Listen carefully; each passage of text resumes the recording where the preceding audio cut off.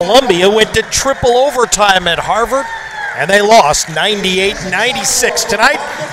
Both teams are going to have to bounce back. Ivy League playing back to back for weekend number two. Knight went for the steal, and that leads to the dunk for Tapé. Smith comes back low to Carter. This is not a usual uh, lineup on the floor for Dave McLaughlin, and they get points out of it. They wanted.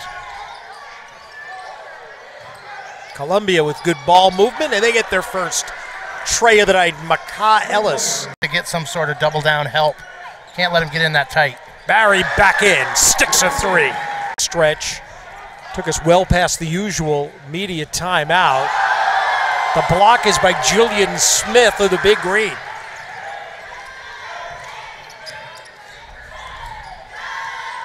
Knight up top. Yes, three. Barry now all the way back out to the D, and that could not be any further out. Unconscious. Don't touch Brendan. He's got a fever of 103.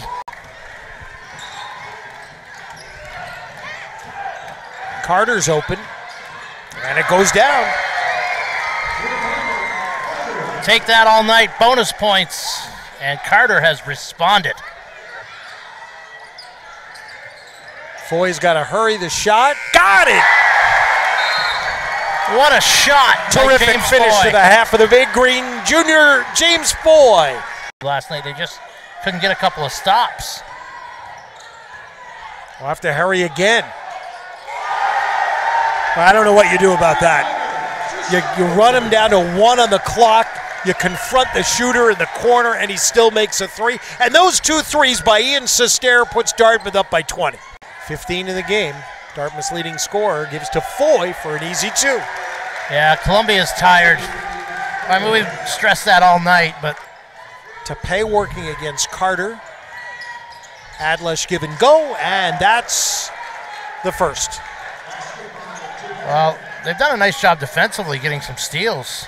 Columbia first in the Ivy League in stealing the basketball. Columbia with a rebound of the Rai miss. Ellis coming in hard. It'll count and a foul. Samuels in transition. That's a three. And Torres has his first field goal of the night. Timeout Columbia as Dartmouth leads 60 39. Back to Tapé. Dartmouth needed a blowout win, too. Wow, what a shot. Adlesh for three. 13 for Maka Ellis. Foy is open for Dartmouth the other way and gets the three right back. That's the problem with pressure. If you beat it, you'll get guys wide open that can shoot the ball. Gonna be another win for Dartmouth on flannel night, Eric. Undefeated, right? Carter inside for that one is good. To beat the Lions tonight, 82 66. Some thoughts? Well, you know, I think right from the onset, Brendan Barry was not going to allow Dartmouth to lose this game tonight. He took over the offense in the first half, put on a clinic from the outside, drove to the basket early to set up his outside shot. I think Barry gets my MVP tonight.